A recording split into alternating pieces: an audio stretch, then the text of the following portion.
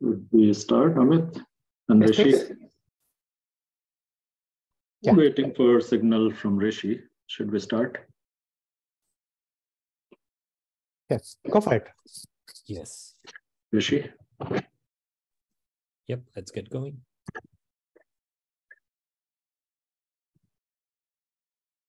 Good afternoon, everyone. Very warm welcome on a very warm day to our first session of a brand new class, which is uh, building innovative AI applications with ChatGPT.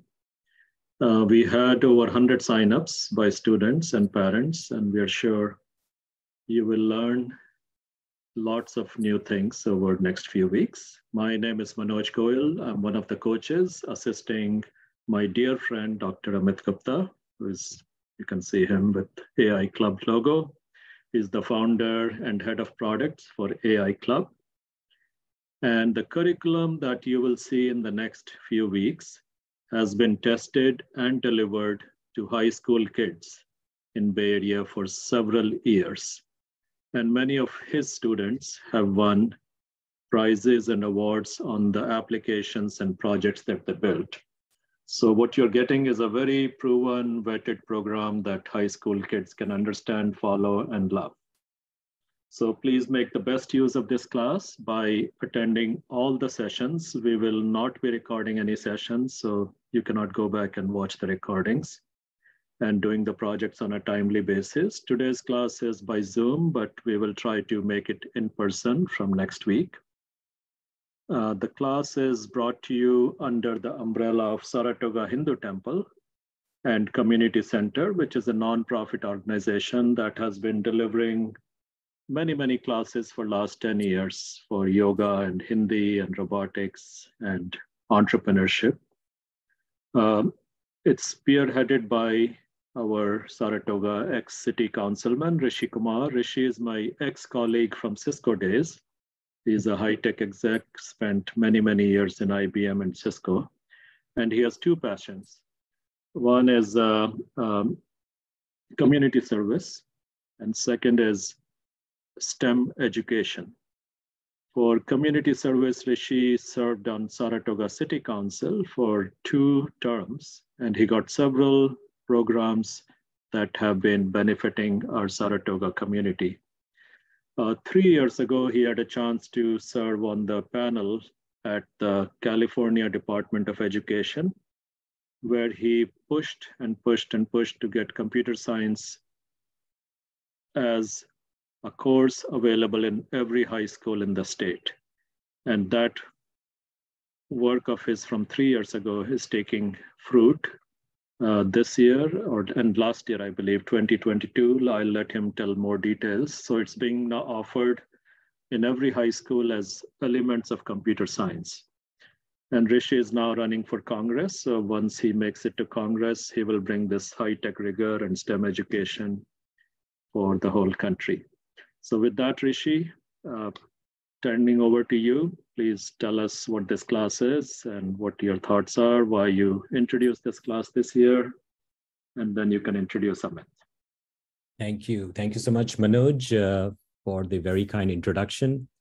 Uh, we had over 100 RSVPs. We still see 35 only uh, who have joined. I hope uh, some of the others will also uh, be joining us. Uh, it's a it's a very very good class.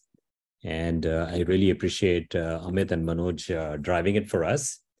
And just a quick clarification on what Manoj said. Uh, the K-12 computer science curriculum that we actually rolled out for the state of California is for uh, every public school child in California. So if your child is uh, in a public school program, chances are they're benefiting from that.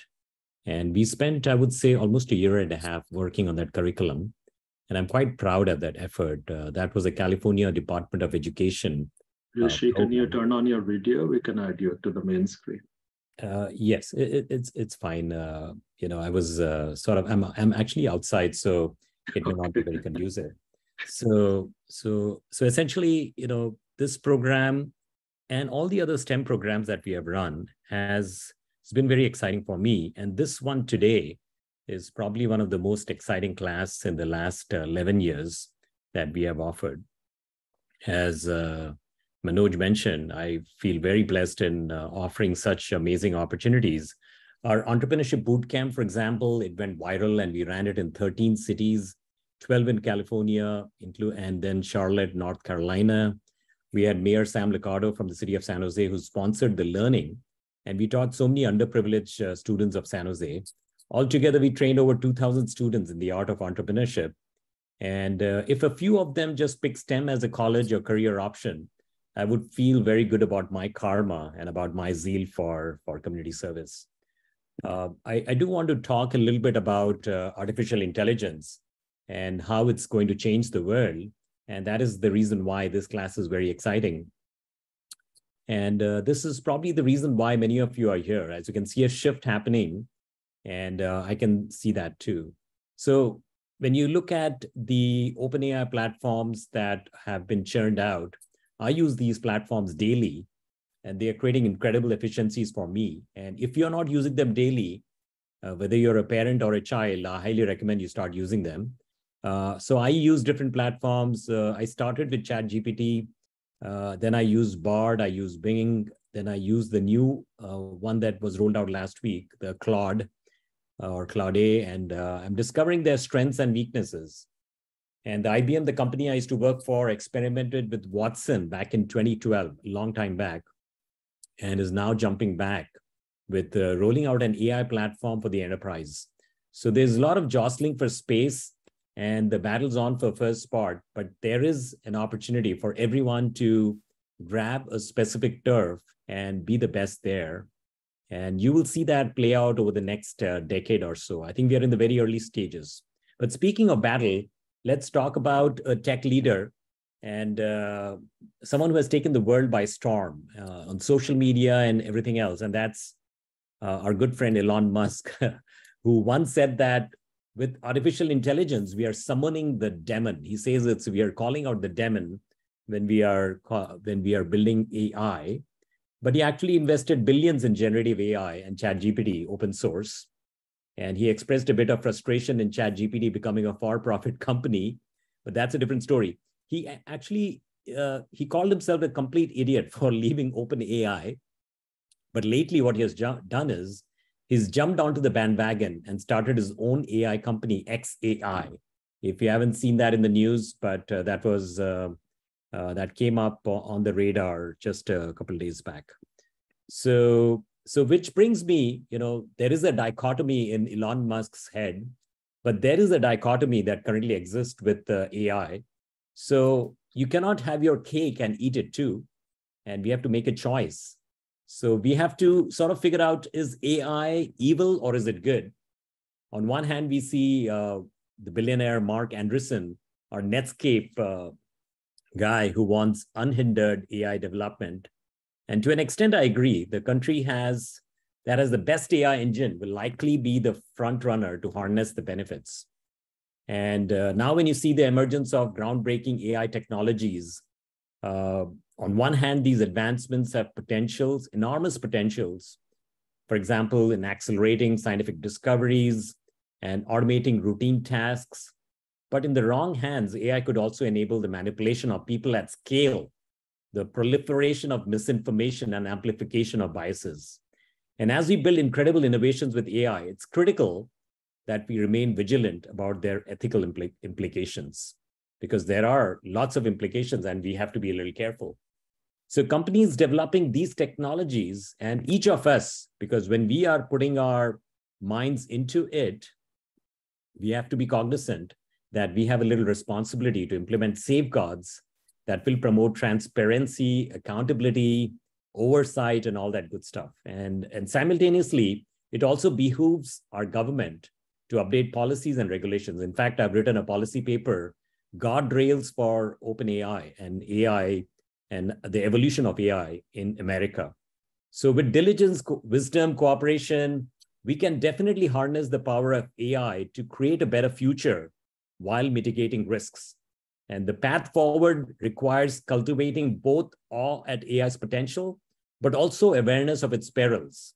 And so I'll leave you with uh, a couple thoughts and uh, I, I, I would really recommend that we keep this, even though we are sort of, will be building some very exciting application, we'll get immersed in the technology, but it's also important to keep these in mind. And that's the reason why I'm bringing this up at the very first class. So for example, do you, do you, do you need a kill switch for the AI engine? Will AI take over the world? These are some of the things that people are talking about. Do we need Uncle Sam to develop these guardrails? Now, typically the innovation that has happened in Silicon Valley has been left un unhindered. I mean, both uh, Manoj and, uh, and uh, Amit, they have benefited from that because they have rolled out companies, they have sold companies, and they have been living the Silicon Valley dream. But uh, would that be possible if we had put some some uh, some hindrance to to innovation, right? Uh, if we wanted, if Uncle Sam wanted to sort of guide the innovation, probably the outcome may not be very fruitful. So how do we need? How do we prepare America for the future? Now I can I can keep going, but I'm going to stop here. We are already about 15 minutes in, and what I'll do is I will introduce our two instructors, and uh, they have been coaching and mentoring many startups. So Manoj Goyal, he's a board member and uh, ex-president of uh, IIT Startups and uh, over 120 startups, 50 AI startups. So he's a he's a Silicon Valley leader who I respect, uh, a serial entrepreneur. Uh, when he first launched his career, he he sold his very first company, and uh, so obviously living the dream. And he has worked for many companies like Apple, Cisco, HP, He's uh, got a master's from Syracuse Computer Science, IIT Roorkee, and also an MBA from Berkeley. And uh, Amit Gupta, you know, he's obviously, we have sent out their introductions multiple times to the email groups. And uh, he's uh, the head of products at AI Club. He's a serial entrepreneur. Uh, a few years back, uh, he sold his company to Cisco, that was Jasper, phenomenally successful and uh, many, many years in large scale distributed system design and development. He's a graduate from IIT Delhi and a PhD from Berkeley. So I'm very blessed and honored that these two amazing individuals have stepped up and decided to team up with me to bring this program to each of you.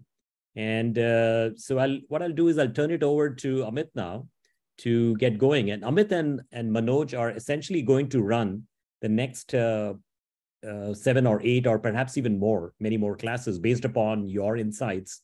Uh, Amit has actually provided you a Google form. Each of you have received an email from me to fill that form. If you haven't done that, it should take you a minute. I highly recommend that you fill that up today, if possible, because that will really help uh, Manoj and Amit channel their energies in making sure that we run a good stellar program. So with that, uh, a big round of applause. We can use Zoom to do the applause. Next week, we are going to likely book the community center, the Saratoga Community Center. And if you have any feedback you would like to offer, please reply to the email because we would really would like to revert back to a face-to-face -face, uh, program. And uh, I would love to hear from you. So with that, uh, let's turn it over to Amit uh, and get the session going.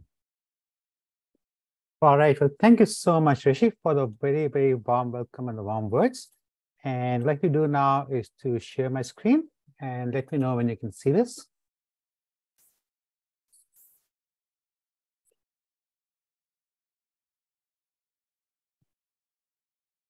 All right, can you see my screen? So one thing I would request is everyone, if you don't have any background sounds, please unmute yourself. This is meant to be an interactive session. So whenever anything happens, I'd like to hear from you very quickly. So as long as there's no background noise, please unmute yourself we'll work through this. So this is our first AI class at the Saratoga Temple uh, this time.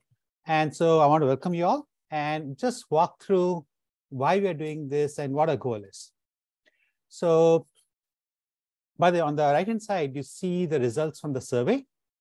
And this was the prime motivation for setting up the survey is we wanted to get our understanding of your prior experience with AI and with Python which will be the primary technology we'll be using for building our APIs and for building up software. And so I was happy to see that basically the vast majority of the people responded. They had some good prior experience with Python, and many have actually done good, reasonably well with, with AI also. So that's really, really good to know. And so we will not cover fundamentals of Python in this class. If you are in the 20% who's not as comfortable with Python, there are two aspects. One, you can pick up some Python along the way. Second, we will be putting together teams of people. And as long as the team has got a reasonably good mix of people that understand Python and people that don't, we'll be able to work through this. So that's kind of the survey part. And again, as, as Rishi mentioned, if you haven't filled out the survey, please do fill it out. It will help us level set our goal, our teaching here. And the primary goal for this particular set of classes is to give you a basic understanding of AI with a lot of focus on natural language processing, of which ChatGPT is kind of the most well-known example. And we want to basically give broad enough knowledge so that you kind of get a rough sense of how other people are using AI, both at high school level as well as professional level, but deep enough so that you can actually build at least some interesting apps yourself. In fact, it's our expectation that as part of this class set, every single one of you will, working in teams, build a custom AI app. That makes sense? Okay. Yep. Yeah.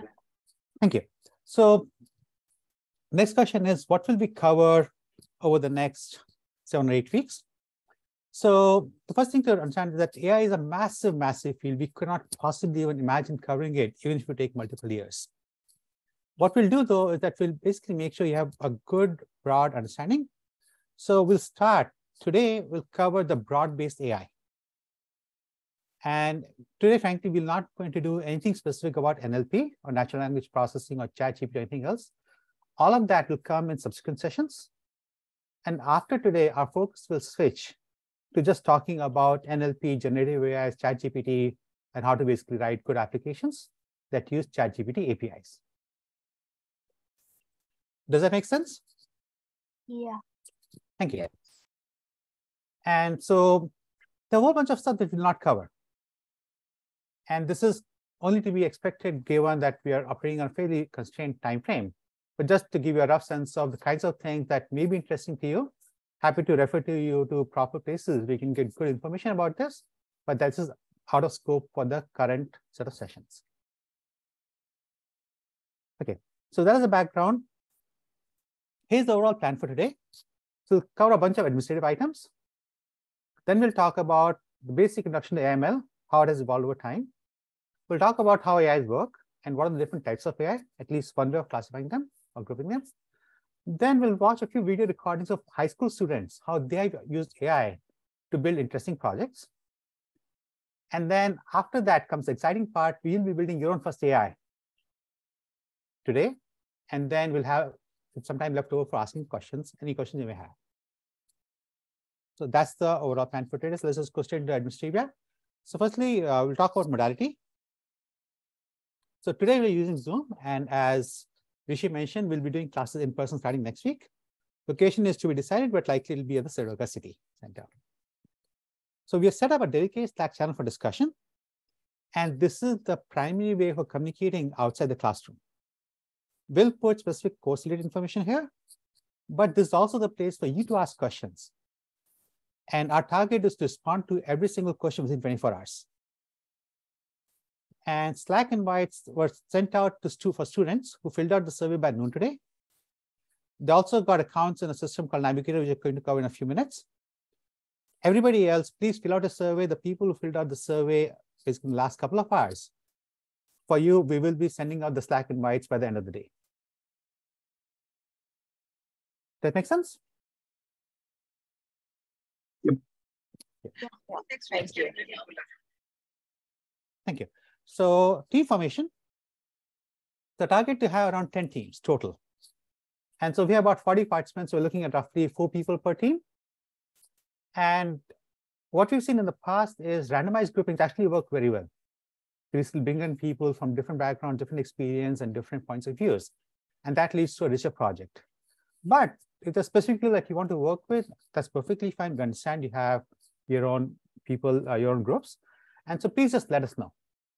So if you can let us know within this week, if there's specific people that you want to work with for your projects, then we'll be able to incorporate that. Otherwise, starting next week, we'll be doing assignment for everybody else into the groups. Make uh, sense? how will how will they let you know? So they can let us know, frankly, by Slack. That's the preferred okay. mechanism. Yeah, okay. And otherwise, I think that's probably the best way. Thank you. Good question. Okay. And the other aspect is there's a robotics class that immediately follows this class that starts at three o'clock. And it would be completely wrong for us to make them wait. So we will stop at 3 p.m. sharp, regardless of where we are. Any further discussion, we'll take it to Slack. Make sense? Yes. Okay. So we'll be using a variety of services for what we do. And so, and this is all sent out also in the survey message and the email associated with it. There's one particular service, the main service here, sorry. The GPT API, that is a paid service. And sometimes they have some credits when you sign up for an account, but regardless, this is something that you have to be, you have to understand that this is something you'll have to pay for. And this pay per use, so the more APIs you call, the more expensive APIs you call, the more you'll have to pay. But apart from that, the rest of the services, there's enough free quota available that you should be able to live within what's available for free. Amit, uh, will you share this particular slide on Slack? Yeah, uh, very good point. In fact, it's already on the Slack channel. For those Okay. who already have the accounts, you should see this on the Slack channel. Yeah, that's a, th- there's an example of the kind of information that we make available on Slack. And again, as we walk through classes, we will walk through the specific URLs and how to access those specific services. We'll do that. Okay. Any questions about what we covered so far?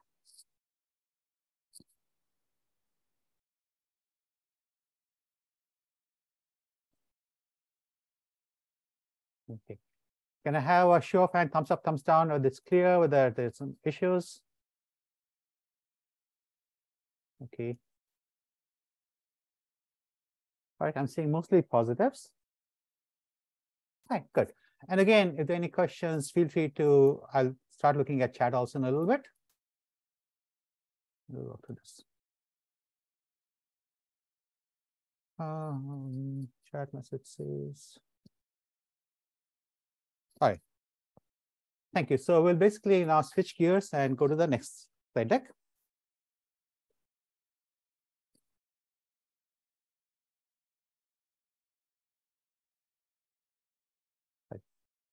This is a very, very quick and fast introduction to machine learning.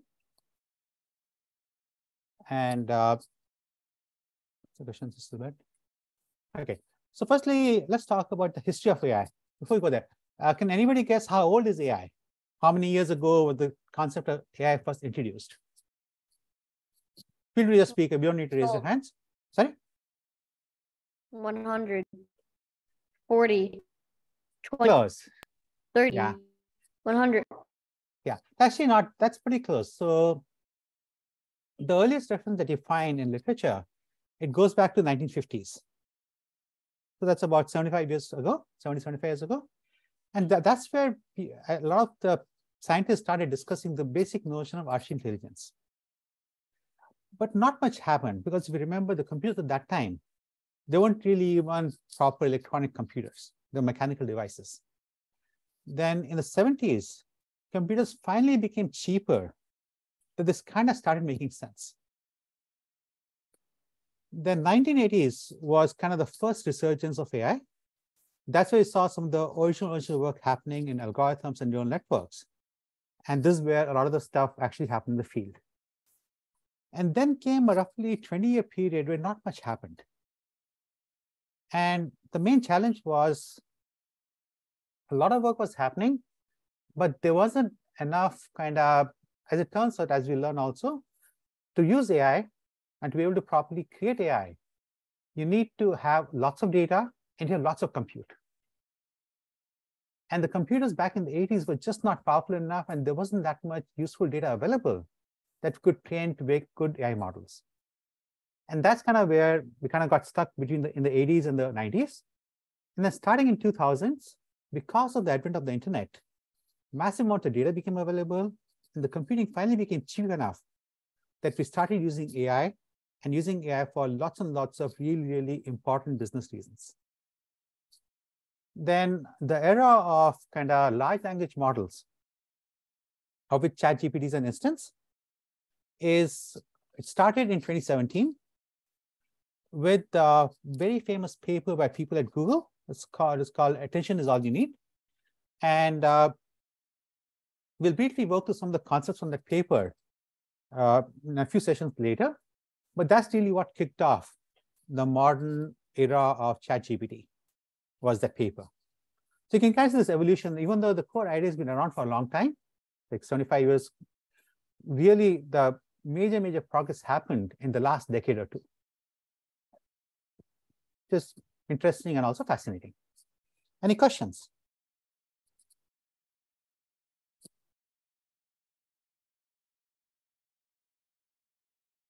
Uh, there are some questions on chat. Will will students get some of these slides?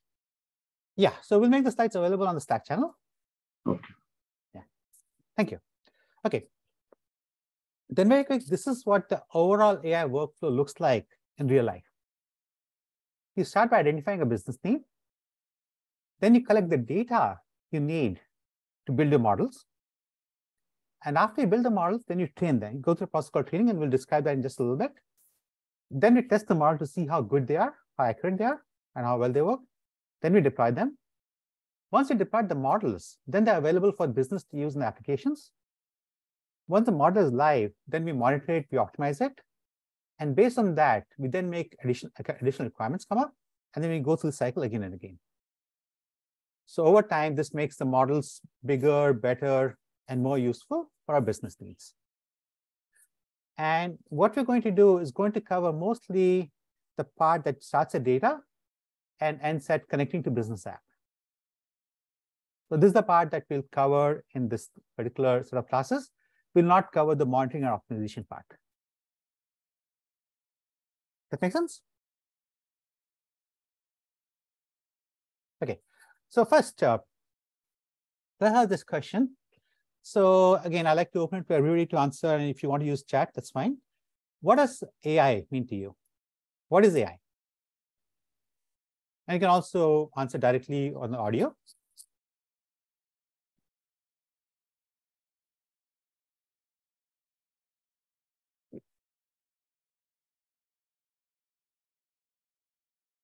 All right, Manu says exponential learning. That's good.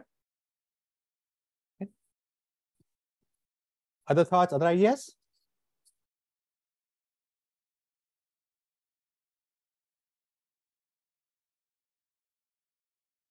Hmm. So we have a recursive answer, AI is AI. So yeah, so to be yeah, useful for learning, that's actually a very good way to think about it is AI is fundamentally about the set of technologies that make computers behave kind of like how we expect humans to behave. So, and in that sense, you can think of this different from, for example, like calculators or standard programs you use, which are more kind of deterministic and mechanical in their work. Here, AI is fundamentally about stuff that makes you think that what the program is doing is similar to what humans do when we think about stuff. So that's the artificial intelligence part. And machine learning refers to the set of technologies that are used to build programs that can basically perform in a manner that looks like AI. So that's why you can think of machine learning as a subset of AI, because there may be other techniques that are possible that can make programs look intelligent. Machine learning is one set of systems, one set of programs, one set of technologies that we know how to use and how to build with that can make programs look intelligent. And the different parts of uh, types of machine learning that we'll cover in just a few minutes. Then the specific subset of machine learning called deep learning. And ChatGPT itself and all LLMs are examples of deep learning. So deep learning refers to essentially a subset of machine learning which, which works with uh, set technologies that we call neural networks. And you can think of it essentially like neurons that basically take the input from one place and the neurons feed to other neurons. You basically have a complicated graph or network through which the information passes through until you get to the answer that looks smart. And deep learning essentially basically means that we have many, many layers of neurons here. And the reason this term kind of is interesting and has become useful now is that about, let's say 20 years ago or 30 years ago, the technology just wasn't there. The computers weren't fast enough and cheap enough that you could train deep learning models. Now the technology, the technology is available. Now the data sets are available that you can train and effectively use deep learning models. And in fact, pretty much in most AIs that you'll experience in the real world, a large, large number of them, the interesting one that you see, they all use deep learning. So when you think of, for example, audio recognition, that uses deep learning. When you think of speech synthesis, that uses deep learning. When you think of uh, ChatGPT, when you think of uh, stable diffusion, all of these are essentially using deep learning. The deep learning is a really, really important part of the overall machine learning environment. And later today, we will be building our first model using deep learning. Make sense? Yep. Thank you. All right. So next, so we talk about, let's talk about a few different machine learning problems. So on the starting from the left to right. So left is actually the program that we're going to build later today. So this is a program where you basically given a picture of an animal, you'll basically be able to say, hey, this looks like a cat or this looks more like a dog. And you'll be able to do that with some reasonable accuracy. It won't be 100%, but it'll be reasonable. It'll be much uh, like you think of statistical guessing. We just guess randomly that gives you 50% between two choices. Here, what you should see something close to 80, 90%. Which is not bad. So that's kind of first example. A second example is, for example, when people study hate speech, then they look for, for example, how does hate speech spreads online? And there you basically create essentially these clusters that talk about the different types of sites and the diff and the different this you kind of see this color coded as to the influence parts of the network and the links between them. So this is another kind of analysis that comes from AI. A third example is that of programs that, for example, play chess. And many of you are aware that this is a more complicated program called Go. And a few years ago, there's a program at Google called AlphaGo that became the first program to beat humans at, at Go. And that also used AI very effectively.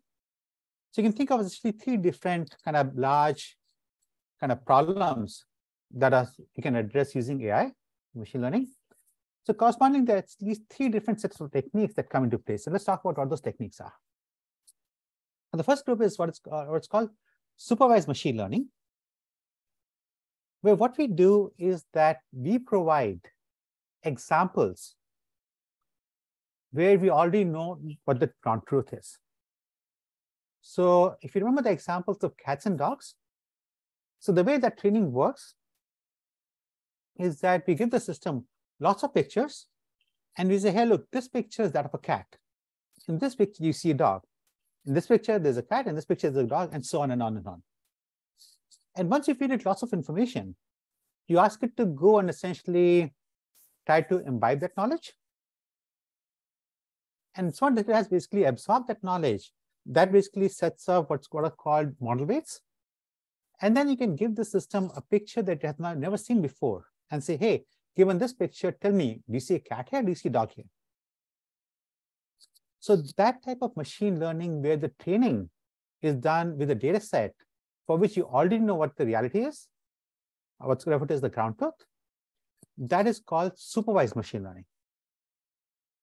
In fact, the vast majority of machine learning problems you see, they all fall under the bucket of supervised. Does This make sense? Yes. Thank you. The second set is what's called unsupervised. So this, if you remember, the second example we gave, which was the hate speech and classification clustering.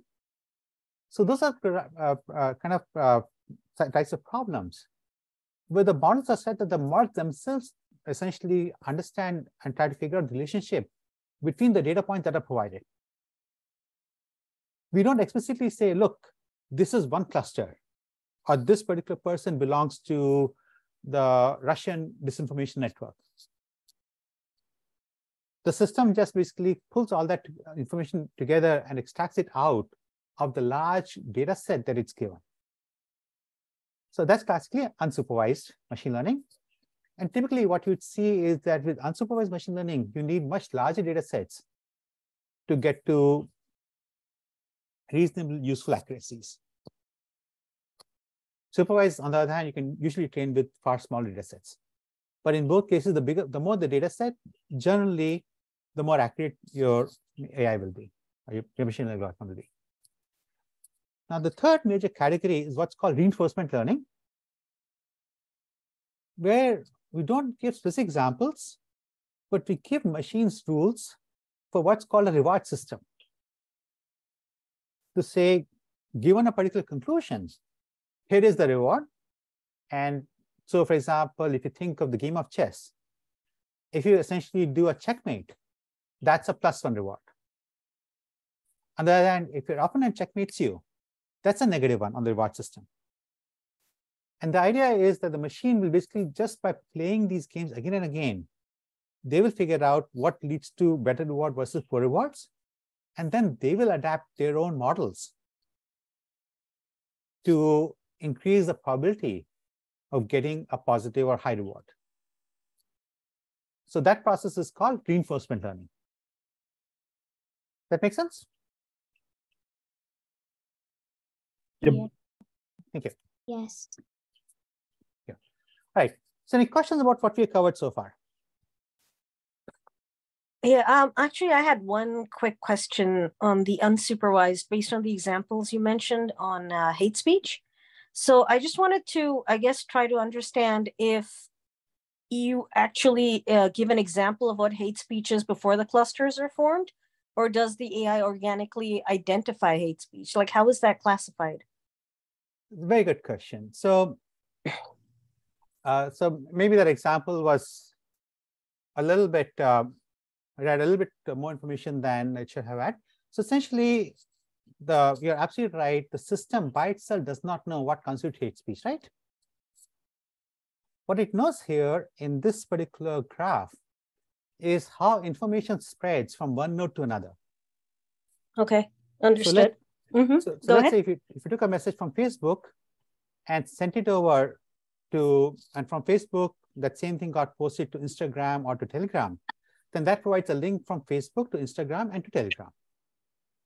You Okay. can think of lots of these links. So if you think of data sets that have got millions and tens of millions of such examples, so based on that, you can then do clustering to say the information that originates at Facebook, where does it go? So that's a linkage that's shown here. Now, I should probably remove the word hate speech here because even though this is being used to track hate, the way this works is that you essentially, a different system extracts out the hate messages. Mhm. And then this system, all it's doing is it's clustering those messages to say, how did these messages propagate through the social media network? Understood. No, actually, actually, that helps. That clarifies. Um, okay, thank you so much. I, I don't think you need to remove the hate speech uh, part on how it spreads online. I think that's pretty evident. I guess I just maybe misunderstood when we were when you were explaining the unsupervised part. Yeah. No, no, you're asking a very, very good question. Thank you. And thank you for Mhm. your presentation. Yeah, Mhm. very good question. Other questions?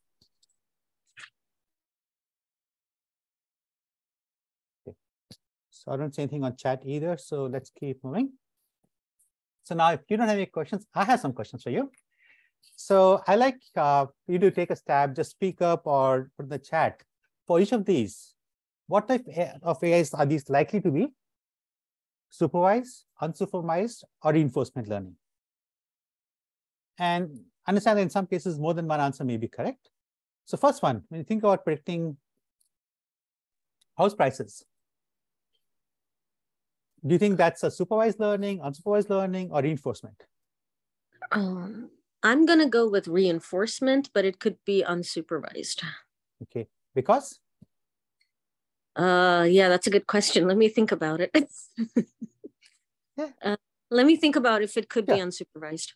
right. So I see a, a bunch of different uh, I say thank you.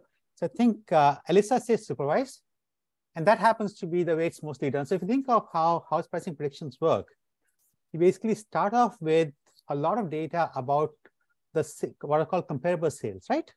Mm. To say this house sold for $20, this house sold for $30, and so on. And based on that, you're now saying, okay, now given an unknown house or a house for which you have information about location and square footage and number of rooms, but not anything else, how do you figure that out? And so as Alyssa and Anjali said, what you say is that you say, oh, let me try to find out what were the comparables. And then there are a bunch of different algorithms that you can use to guess the house price based on the comparables. So that's a case of supervised learning be the most likely one. Okay. The thing is, for example, figuring out the grouping of people by where they live. For example, for figuring out congressional district. By the way, this is not talking about figuring out a congressional district you're in, but figuring out if you wanted to redraw a map, what would be a good map to redraw? Yeah. So Ayan says so this is unsupervised. That's correct. And why?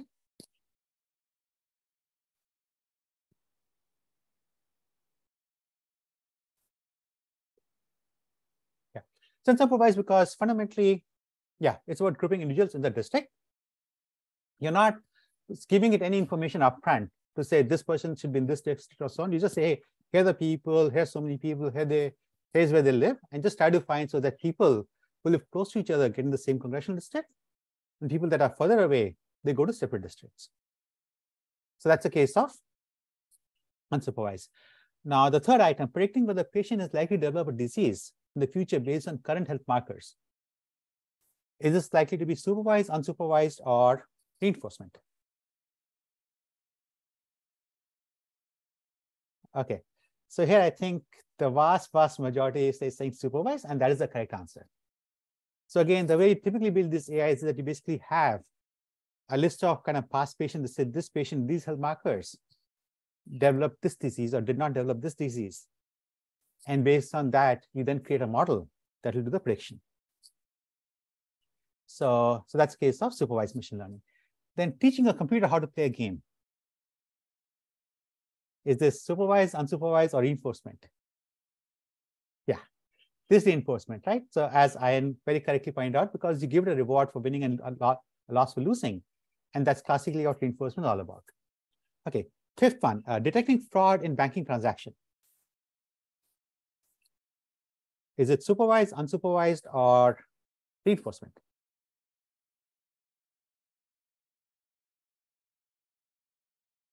So this is uh, an interesting one. So in theory, it can be supervised. So You can basically give an example of, okay, here are fraudulent transactions, here are regular transactions, and have it figured out. In practice, most of this tends to be unsupervised. And the reason for that is that fraud can come in many, many different ways. So what you want to do is that you basically, and the vast, vast majority of transactions are good transactions, right? So what you end up doing is you end up basically saying, if find here is a pattern of what typical transactions look like. And an assumption says it can be supervised or unsupervised, but it's most likely, so it's mo most of them are super, unsupervised. Okay. Next one, teaching a self-driving car to avoid accidents. Is it supervised, unsupervised, or reinforcement? I can see it's pretty much reinforcement by landslide. Yeah. So there's an example. We kind of tell it, hey, if you kill a human being, that's not good. So give it a essentially negative infinity for reward. So that's a very classic case where reinforcement learning comes in very heavily. Right. Thank you. I'm actually very happy to see the answers today. You all basically got the core idea behind these different types of AI, so thank you. So that's all we have. So now we'll switch gears a little bit and talk about some student projects. Give me one second. Okay, so so this is one question that came up was that hey can you tell us what some other students like especially at middle school and high school level what they're able to do with ai so it turns out this is something that we actually work with. So we have an annual research symposium the presentation is mostly by high school students there's some middle school students also. It's open to all the in fact we just had it about a month ago. The keynote was by ashish bansal who's a noted nlp expert. He wrote the book on nlp also an engineering leader at google ml so I just thought to give you at least a rough sense of the kinds of uh, research that was done that made it to the presentation stage at the last symposium. So, and I'll make, I'll put this on the Slack channel so you can look at yourself. But here's one example. Let me see if I can do this. Okay. Can everybody hear the audio? audio? Yes. Thank you.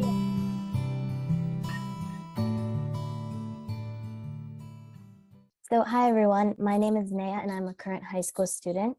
Um, and today I will be sharing my project Filtered with you all. So over the last decade, the usage of social media and online messaging platforms has skyrocketed. And more recently, during the pandemic, all in-person communication and interaction was, as we all know, brought to a complete standstill in an effort to keep everyone safe. Social media and online messaging sites became the primary functions of communication for everyone, but teenagers especially. And popular sites consisted of Instagram, Discord, Snapchat, TikTok, YouTube, Facebook, and texting, just to name a few. On a, macro, micro level, due to the lack of face-to-face -face interaction, teens were sending messages without seeing the immediate impact of their words on the recipient. So messages could take on a tone and content that otherwise may have been absent in in-person communication. Additionally, with the ability to screenshot Zoom calls or Google Meet meetings, um, students began making memes that often, you know, with the intent of being fun, had a harmful effect on others. And as a result, social media left a harmful impact on teens across the globe, including feelings of insecurity, personal attacks, and diminished mental health. I'm sorry, we're actually about 10 minutes out, so I'll quickly walk through one more if you like. Okay, uh, let's look at this one.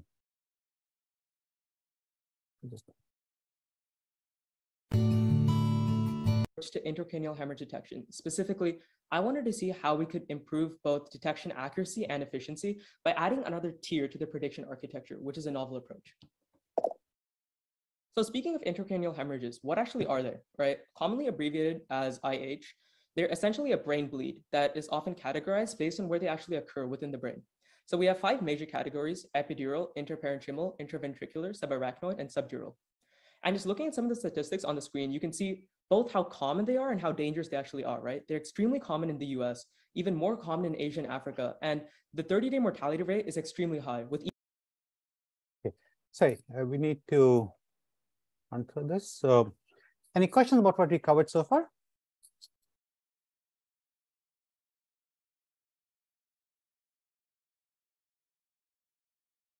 No. All right. So let's switch gears now. And we come to our main show. So this is cats and dogs. So what we're going to do now is build an AI that will reasonably accurately detect in an image whether it's a cat or a dog.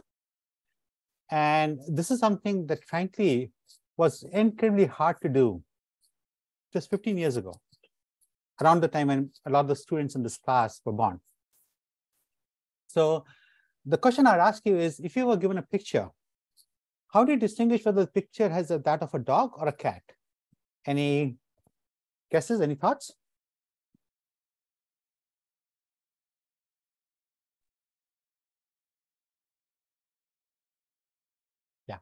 So Prisha says body part good. And can you uh, give, uh, can you talk about yeah, the features? So what features would you say are critical for this? What features would you look at to decide, okay, for face, good. So now both cats and dogs have faces, right? So what would you look at to determine? Yeah. So yeah, so very good answers. Okay, something happened.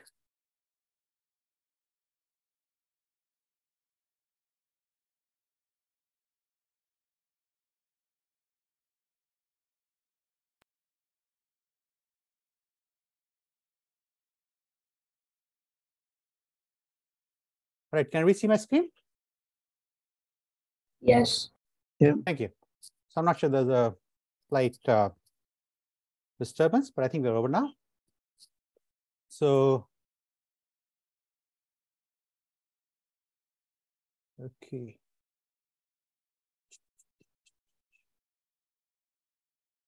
Yeah. So as you guys think, so for example, you look at the noses, they're shaped differently. You look at the ears, they also, you look at the whiskers, the cat chicks are typically much bigger and much stronger, right? So yeah, so lots of good ways to figure out. So let's look at the features of the image and decide. And to be frank, and also look at the paws. AI is actually not that different. So AI is fundamentally, they learn the patterns in the images. So, and what you see, and actually a very good example. So one person pointed out that cats have whiskers, but dogs don't. And Akshay responded, but my dog does. So what you'll see in all of the image recognition tasks is that they will be, you can never be 100% accurate. And that's true for humans also. If you look at a picture, a lot of pictures, it's easy to see what's the cat or dog, but sometimes you can't make out that easily, right? And that's true for, uh, for AIs also. But the core idea remains that AI is fundamentally learned by looking at and understanding and learning the patterns. And based on these patterns, they basically, in the images, they figure out the different features. Then they figure out the patterns that map the features to the decision of whether somebody's a cat or somebody's a dog. And that's exactly what you're going to do. And so one important thing there is for supervised learning, the classically there are two different stages. The first is called training, which is where you basically take lots and lots of these example images and you say, ah, look at these uh, 10 images.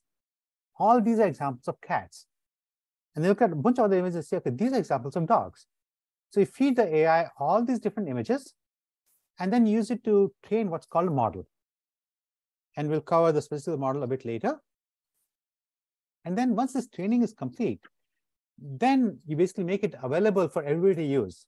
And then you say, ah, you, let's say given a brand new image, you give it to the algorithm to say, given the model, please predict whether this is a cat or dog. So that's what happens in our case also. Okay, so for hands-on exercise, you need to go to aiclub.world. I'll put the URL on the chat. And um, so the people that signed up before noon today, you would have received the credentials. Otherwise, for the rest of you, you can either wait for the credential or you can try to sign up on the spot.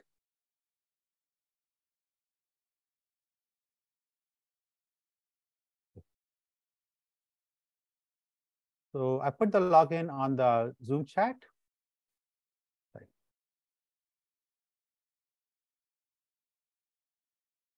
Okay. Does everybody see the screen? Yeah. Yeah. You can click on login. So I'm already logged in, so I will see this page. If you're not logged in, you'll see something a bit different. You'll see a page you'll need to enter your login and password, or you can log in using your Google credentials. So please let me know when you are done with this.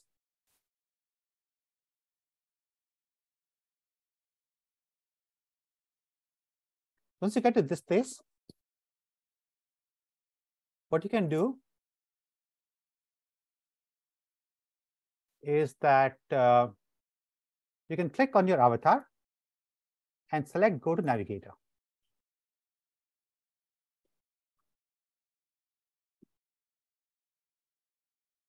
You'll see a screen that looks like this. Uh, you'll only see three of these tiles. You won't see the last three, but leave aside, you'll at least see these three slides, these three tiles. And on this first tile, click on Create an AI Service. And you basically have to give it a service name. Let's just call it,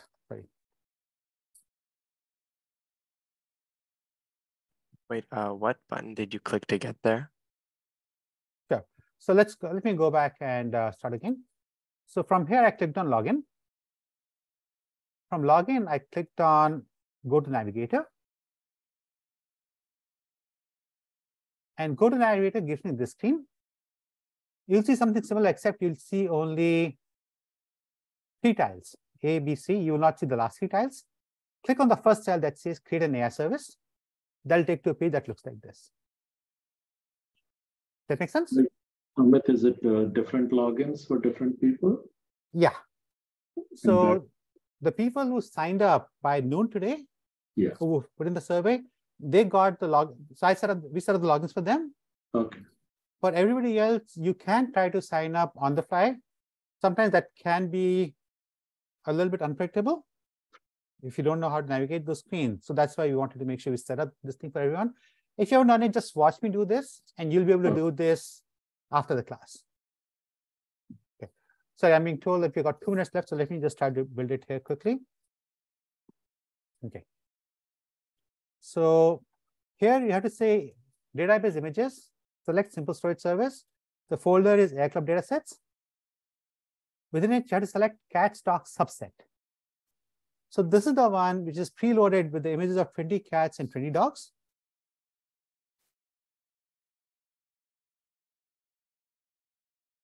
Okay. Once you see this and it's done, then you can click on feature engineering.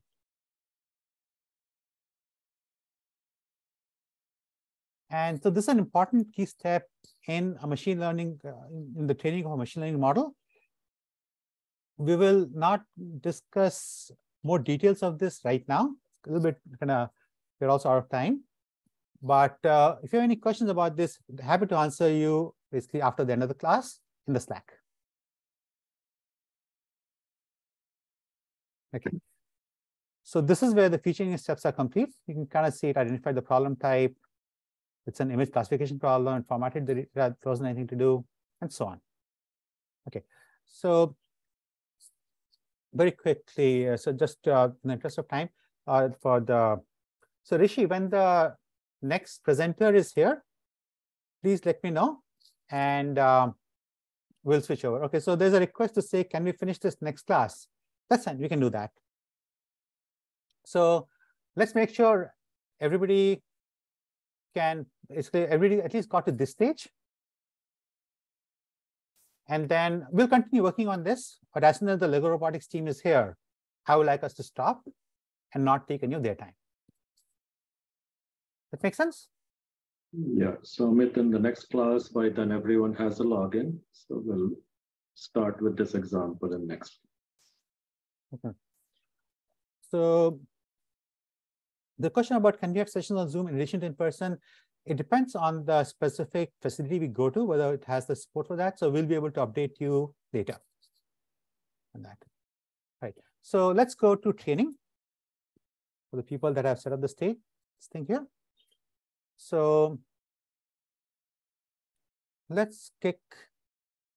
Okay. So one question, if we fill out the form afternoon, will the accounts be made available? Yes, the accounts will be made available, but they'll be available within the next 24 hours. So just uh, leave all things default, just click on training button and that'll start the training process. So, let me do this again. there. So what happens in training is that the system essentially pulls the information from every single image one by one. And then it does it, uses it to adjust what are called weights inside the machinery. And these weights determine, depending on particular, okay. So let me walk back a little bit. There's a question about what did we do on the datasets tab? So I, will show you that. If you guys are already at this stage, please keep running it. And uh, Lego Robotics team, please, please, please speak up if you're here. I want to stop as soon as you get here. I don't want to take your time. Okay. So let's create a different data service here. Let's say cats, dogs. Two. So on the datasets tab, we first selected images. Then we selected simple storage service. Then we selected AI from datasets. And then we set for the image folder, pick the cat stock subset. And this basically loads up the subset, and that's it. So that's what we need to do on the datasets tab. Okay. Let's go back here.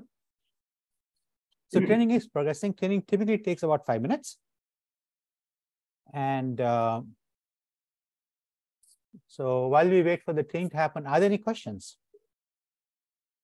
Yes, Amit, a great session. And we have Anu here who's going to run the next one. Okay, perfect. So I'll stop sharing. Yeah. Anu, please start sharing and I will get out. Thank you, I'll Amit. You thank you, Manoj. Uh, an excellent session. Got things going for us. Uh, really appreciate it. Okay. Anu, uh, the stage is yours. Uh, Anu and team. And, okay, uh, wonderful. Yeah, go ahead, Manoj. No, no, I was saying thank you, Rishi, for organizing. Very easy to follow with good, good examples. And okay, I've been doing the exercises as well. So I'll probably be bugging both Manoj and Amit. Um, as I also come up to speed. So thank yes. you. Okay. My pleasure. Right. Thank you, everyone.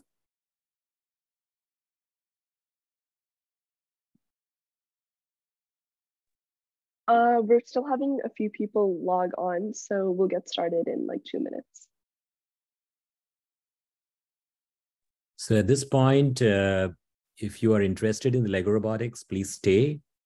If you are curious, please stay. If you have other more exciting things to do on this hot afternoon, please log off and uh, and enjoy the rest of your day.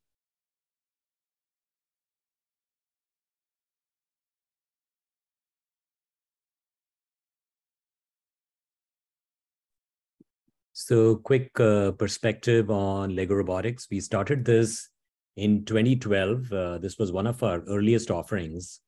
And uh, back in the like 2009, 2010 timeframe, we used to have a single Lego Robotics team from Saratoga and in the neighborhood, neighboring, neighboring areas, not too many teams. And then we started this something called Team Formation Day. And uh, we would typically form about 25, 30 teams on Team Formation Day. And it led to some very effective collaboration between our young students, uh, I believe from fourth graders to eighth graders. Uh, and they would go and run competitions and uh, our teams have done extremely well. We would run scrimmages at the community center uh, to get our teams prepared. And sometimes I would be the uh, the referee on that, tabulating points. We had two tables so it was uh, very nicely done. Uh, many of our parents would volunteer for that one. And uh, since the pandemic broke out, it sort of fell apart. But also, I think our middle school, Redwood Middle School, has uh, a Lego robotics program. And so our students uh, feel a little less of a need to join this particular summer program, though we do have lots of students who come from, from uh, school districts that do not have a funded Lego robotics program. So that's a quick uh, background of where we are. And we have been running this for, I would say, almost 10 years now. And uh, we had uh, somebody who just went to college. And so Anu, Anu has taken charge and Anu and team, Anu and friends. So with that, I'll turn it over to Anu to get things going. Uh, hi, so um, yeah, so I'm Anu. I'm um, one of the leads for this uh, Lego Robotics Bootcamp. Um, and we'll just start with, oh, so this today, um, we're going to go over our introduction to FLL um, and an overview of like how the, how the competition works. And uh, towards the end, we'll talk a little bit about uh, how you can register your team. So we'll start with some introductions.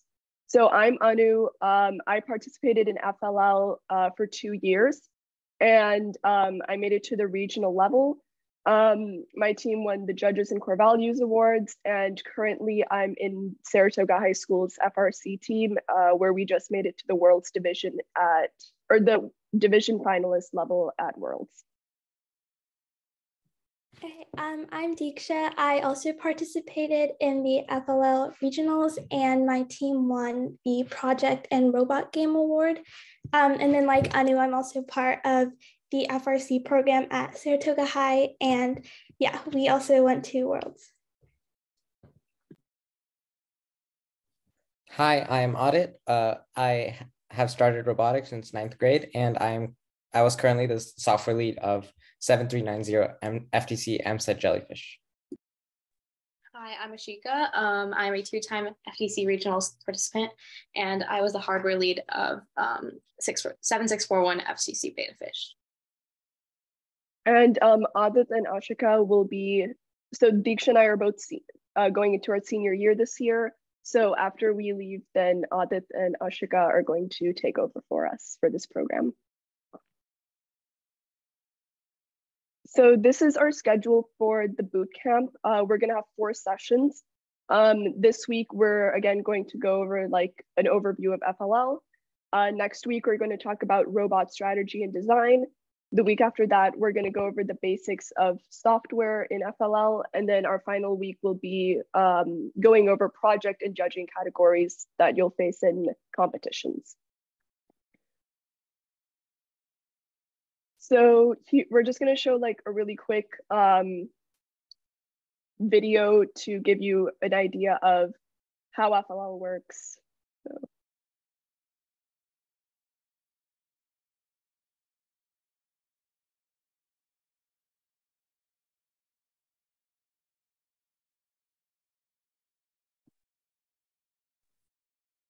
The audio seems to be missing.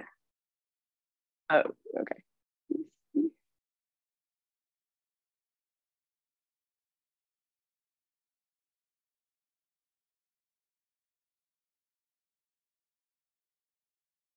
There is a setting on Zoom where you can pipe the computer audio.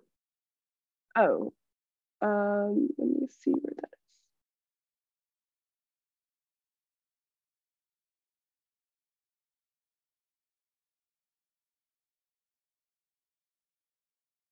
is. Rishi, do you know where the setting is? Does she have to be a host?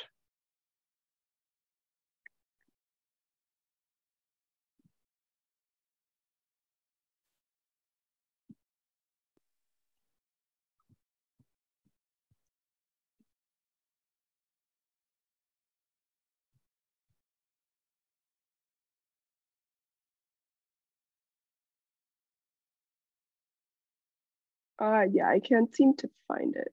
Yeah, I think you have to sign on as host. So that Oh, looks, okay. looks like Rishi has left. So today you can just play without the audio. Well, Okay. Mm. So let's.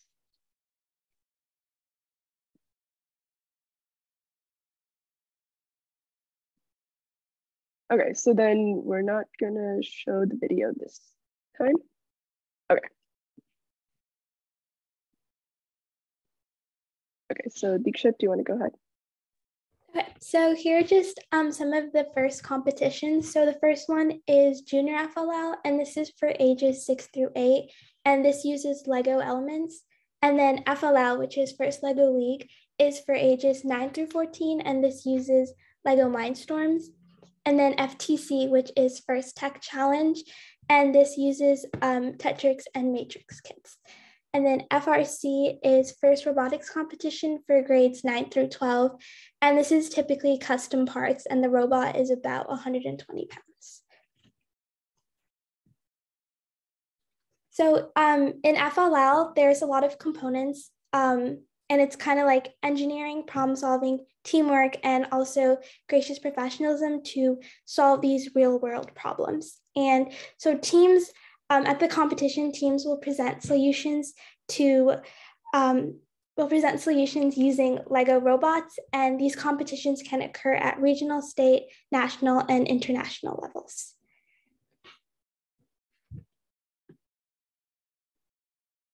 So for FLL, um, the age bracket for the competition is ages 9 through 14 or uh, like grades 4 through 8.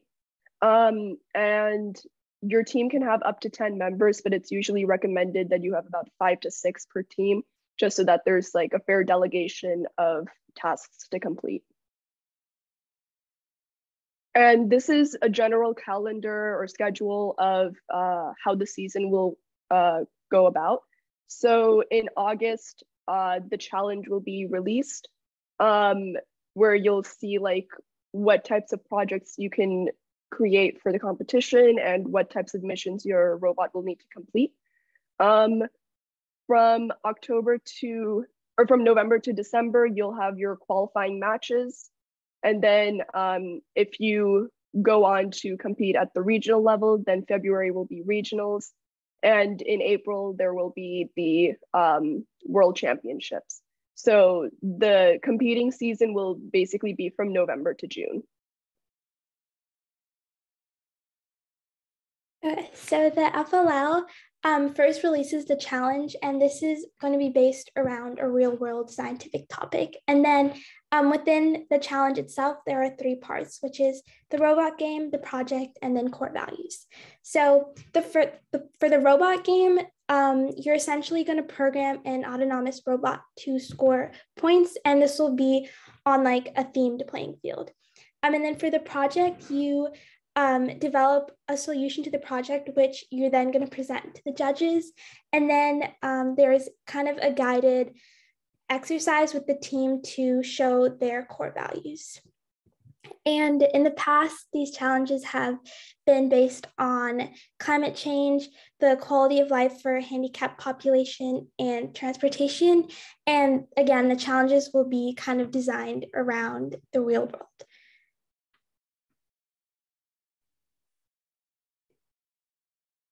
Um, yeah, so in 2018, it was hydrodynamics. In 2019, into orbit. And then 2020 was city shapers. 2021 was replay. 2022 was cargo connect. And then 2023 is the superpowered. Uh, so the videos can't play, but uh, we'll send the slideshow in the chat after we're done.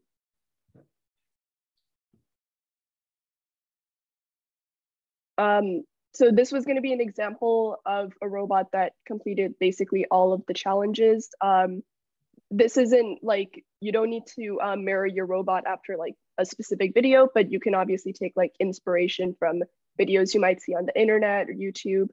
Um, but again, yeah, you can like look at this video after we share the link. Uh, so FLL competitions have four main parts. The first part is the robot game where your robot will just complete the missions that you're given um, at the competitions. Um, the second component is the robot design, uh, which is a judged category. And basically what where it says like in parentheses, the judged, uh, that means you're gonna go into a room with, your team will go into a room where there will be like a panel of two or three uh, judges and you'll explain like what you're being judged on. So for robot design, you'd show them your robot and why you might have designed your robot in a specific way. Um, the third component is the project, which um, Deeksha had explained before, like it'll be based on a real life uh, problem and your team will have to explain um, in a creative manner, like what problem they're deciding to solve. And then the fourth um, category is core values, which is just where your team will show how they've collaborated and how they've acted as a team based on the FLL core values. And uh, the core values we'll go into a little bit later into the slideshow. So the robot game will be played on a four by eight inch field or feet field, and um, all the teams will have identical field kits, and you can um, learn more about that in the challenge documents. And then the game consists of multiple missions. So um, each or the team will have to program to attempt these missions, and then each mission will be worth um, different points. And the teams will design, build, and program the robot to solve the missions. And I um, and each robot game will be around two minutes and 30 seconds.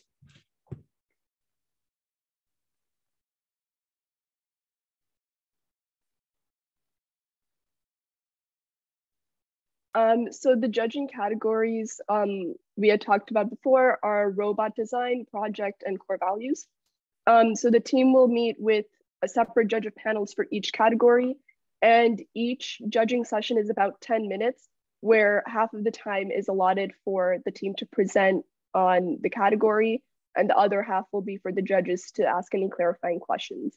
And um, while you present or while the judges find the answers to their questions. Um, they're going to fill out a rubric, which you can find online. Um, and after the competition, I believe the the um, first will send you like your where you scored on each rubric, um, so that like if you're going to regionals, then you can find like places that you can adjust your presentation or like how you answer questions. Um, so this is like an example of a robot design. Um, so for the judging, um, for the judging session, um, the judges will ask you about like what your robot can do and how it's like unique maybe from other robots that are competing at the competition. So below that's just like a little graphic of one of like a robot that has competed in the past. Um, and then it's just like showing like what each component does and why it's important to solving any of the missions that are on the board.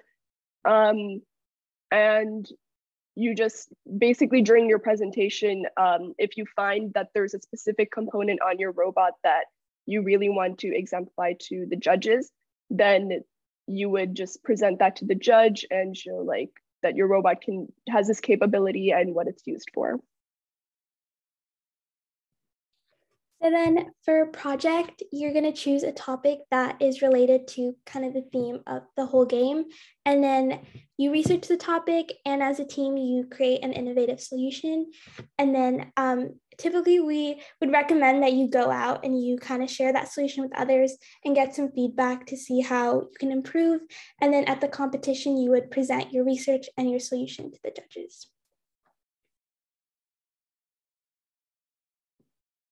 And then these are example projects. Yeah, so yeah, these uh, will be linked in the slideshow. Um, so these are the core values, which we talked about a little bit previously. Um, like this, the core values kind of go throughout all of the first competitions, where whether you're in FLL, FTC, FRC. Um, so the main, so the core values are discovery, uh, innovation, impact, teamwork, and inclusion uh, and fun. So you in your core values judging session, um, the judges will test your team to see how like to ask you like examples of how you might have shown each of these core values while building your robot or like just during the entire season um, leading up to the competition. Um, another term that is really common in first, which isn't a core value, is gracious professionalism and Coopertition. Um, these two values are really important to first. Um, and in the judging category or in the judging session for core values, you'll very much want to exemplify it. Um, Coopertition is kind of like cooperating with other teams that you're competing with. It's just like their slogan, I guess. Um, and gracious professionalism is showing um, like exemplifying these core values throughout your team and to other teams as well. Um, so also in the judging session for core values, um, in order to see how your team works together, the judges will give the team like a short activity to perform to demonstrate how um, your team generally works together when they're building the robot or coding. Um, and then they'll also ask you like specific questions on how you've used core values, um, not only in the activity that you performed in front of them, but also during the season. Um, so the core values would include like how you interacted with other teams or professionals and your community. Um, and basically the entire idea of the core values judging session is just to see that you're treating your team with respect, but also treating your community and your fellow com competitors with respect as well. So top um, so the top teams advance to the regional championship.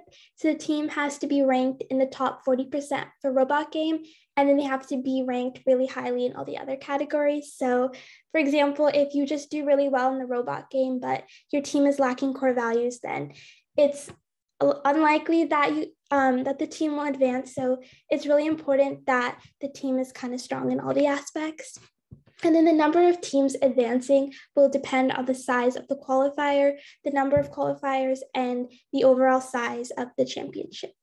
And just, um, and although, and winning the award doesn't guarantee an advancement. So this is the link that you can register your team with, and then this will help you make a first account, which then you can follow the additional steps to register your team.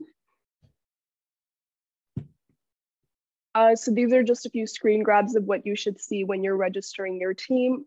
Um, and you can look through the slideshow when you're registering your team just to make sure that you're on the right track. Um, and then this is really important. So after you register your team, you will want to register for like notifications about the um, FLL competitions near you um, so that you know which competitions are coming up and which ones you can sign up for. So the cost um, will never be per student, but instead as a whole team. And the new team's registration fee is typically around $900, and this will include registration, the robot kit, and the field setup kit. And then um, if you have, um, then there will be additional costs for the event participation, travel, food, team t-shirts, and other optional items. So the challenge mat will basically be like the robot game mat where all the missions are located. And this will be available through the first dashboard. And um, like I said, it'll include the mat, the Legos for the mission models, and each model will be divided into bags with instructions on how to build them. Uh, so at the beginning of the season, after you've created your team, um, it's important for the team to have a goal for what they want to complete during the season. Um, if you sign up for a qualifier, don't like don't back out of it just because you think the team isn't ready for the uh, qualifier. Um, just go and see what happens, I guess. Um, and sometimes there are local scrimmages that are happening with other teams that are in your area um, there was like a local elementary school uh, that was holding a scrimmage for all uh, FLL teams that were near them. Um, this was last season. So if you hear about these types of opportunities, then I would definitely recommend uh, going to them. Um, and before starting the season, don't feel like you need to have everything, like be an expert on everything. Um, because the point of like the entire season is to make sure that you're continuously learning um, and so for like, so each team will have a couple of coaches, maybe like one or two. Um, so it's good for them to make sure that like the team is learning and working together to learn new things. But then also being involved if there are any like incredibly difficult tasks that they can't find. And so for coaches, there are typically two, um, but the coaches aren't supposed to be doing like everything for the team. Uh, the main idea is again for the kids to be learning. Um, so the coaches should mainly make sure that the team is like on task uh, to, and on on track to being um, ready for the competition that they're going to compete at. Um, so yeah, so coaches should just basically be guiding them and teaching them new skills, handling any logistics that come with like competing at the team um, asking questions to lead the team and then um, making sure that the team is like following rules. And then the team members, which are the students, um, they should be doing the majority of the work. So like deciding strategies, um, building programs, researching, choosing problems, and then again, presenting to the judges. And some retiring groups um, in this case, the Tiger bots have extra tables, so you can try to join their email list with the link above to see if they have any you can borrow. Um, but if you're also building your own table, then here's the link for instructions and dimensions on how to build that. And it's this is um, like the PDF version of a book for some of the winning designs that teams have used in the past. Uh, and then this is just like a slide of good resources. Um, yeah, the presentation will be available to you. Um, so yeah, so if you just need any help, then all, um, all of your questions should be answered through one of these resources. Uh, and then this is the end of our session this week. Um, so if you have any questions, we'll be staying a couple minutes later, but um, if you have any questions after we leave, then uh, we can I can put my email in the chat and then you can let me know. So uh, I'll add, I'm gonna stop sharing. I'll add the slideshow to the to the chat box uh, so that you guys can view it.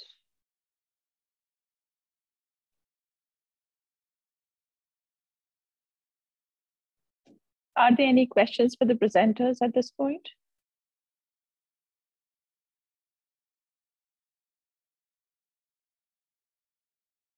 Um,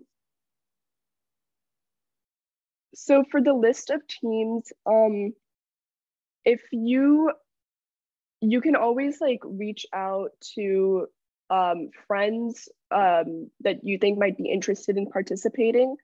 Um, I'm not sure if there's like an entire like Facebook group or like Google Groups group that is like a public forum where like anyone can ask um, about like adding team members. But um, I would always start with just asking people that you know if like their children would be interested in participating. Um, for mentors, it's I would always recommend just um, asking previous participants of FLL, like a lot of high school uh, robotics members, they were most likely participants of FLL. Um, so you can always reach out to any of them and ask if they would be able to um, mentor the team. Um, but you can also ask like, like if any of the parents of the students in the team, um, if they're in any way familiar with any type of uh, robotics or like engineering, uh, I think they could also serve as a mentor.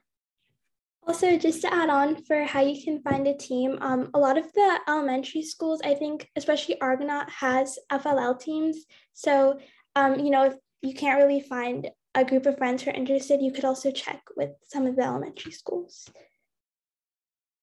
And then um, I'll put both mine and Deeksha's emails in the chat um, so that you guys can email any of either of us if you have any questions. I think for mentorship, uh, they can also reach out to one of you guys, you know, Adit Ashika, uh, Deeksha and Anu. If, um, if you have the cycles, you might be able to consider that as well, right? Yeah. So like in the past, we have um, met with teams to discuss any questions that they have um, regarding like robot building or like anything that they might be unfamiliar with because they're new teams. Um, so if you are in need of like a similar type of mentorship, then um, any of us four are available.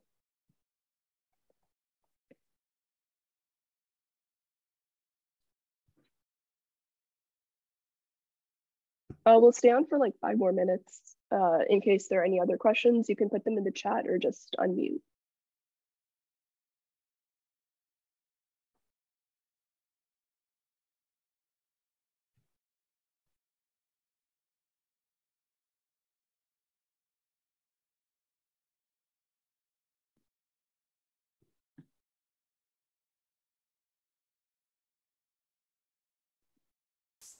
Adit and Ashika, would you like to share your email addresses as well so that um, in case any of the participants wants to reach out to you for mentorship perhaps?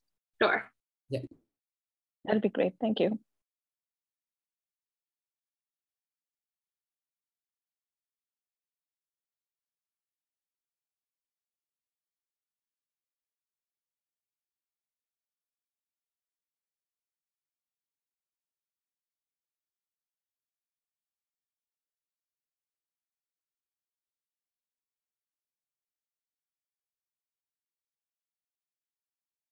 So to add on to what um, Anu and, uh, and uh, Deeksha just mentioned about uh, finding a team, uh, some of the things um, have worked in the past as well as that people have, you know, students have reached out to their own school district, uh, you know, or, uh, you know, through a parents group, sent messages to their own, you know, peers or people, you know, students who are like one grade ahead or one grade lower and to form teams so there have been often we found like people have been able to form a team with like fourth, fifth, sixth graders. Um, you know, also we found like with when Anu started FLL, uh, she she started in seventh grade, and there were there were students from her school, uh, not necessarily in her immediate friend circle, but they were a part of this FLL robotics uh, group. Uh, they attended, and then the teams were formed. So there are various ways you can actually reach out to actually form a team of your own and take it forward.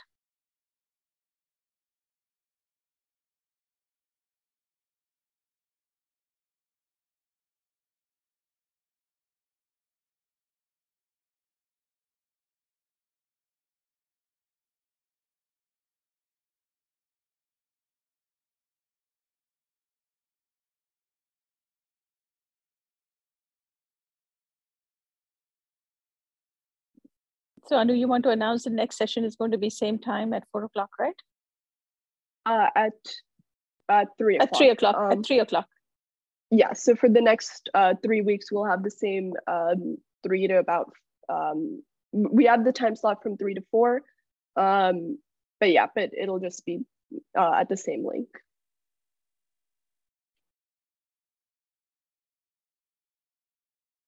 Okay. Good job, Um, guys. Uh, I think I'm going to, I'll end the um, meeting and then if anyone needed any questions answered, then you can email any of us. Okay, thank you.